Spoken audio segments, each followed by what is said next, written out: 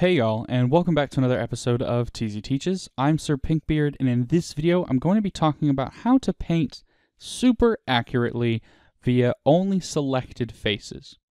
So, what I mean by that is, let's say we have a nice little brown color, and I want to fill in the back of the monkey's head with that brown color. Well, right now, if I just use the fill brush, it's only going to fill in everything because I don't have anything selected and I don't have this extra little paint only what's selected turned on. However, if I undo that and then go into edit mode, what we see is all of the seams and the texture still applied. Now this is a really cool feature because all I have to do now is simply select the faces that I want to paint on. The way that you can do that if you want to paint on huge sections is just to grab a particular face and then hit Control L. So if I grab both of these and hit Control L, it's going to grab everything that is selected on that mesh island. And it's only going to select things on that mesh island because it counts seams as a breaking part. So then I would have to come in and manually select the other faces that maybe I wanted the brown to be on, which is just the back of the ear, back and sides of the ear. So I can go ahead and do that. And now that all of those faces are selected, if I go back into texture paint mode by hitting tab, there is a button up here next to texture paint mode that allows you to mask for painting only the faces that you have selected. So now you can check that box on and whatever you select in edit mode, you're allowed to paint on.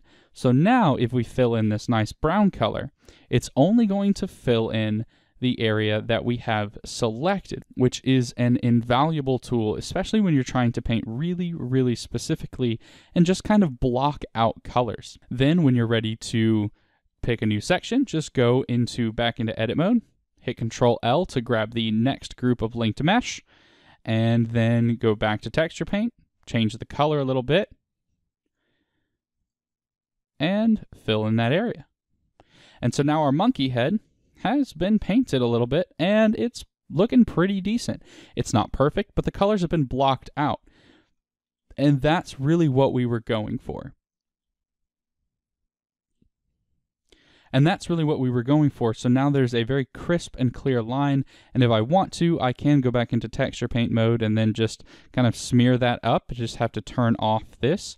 And if we blur the line a little bit here between what is and what so it doesn't look perfectly cut out there. I think that's actually going to be a pretty good way to paint that. And so that's just something you can do. I wanted to point this out because it was a while before I found this tool. And so this is a really useful tool for painting really accurately, just face selection masking for painting. I'm Sir Pinkbeard. Thanks for watching, and I will see you in the next video.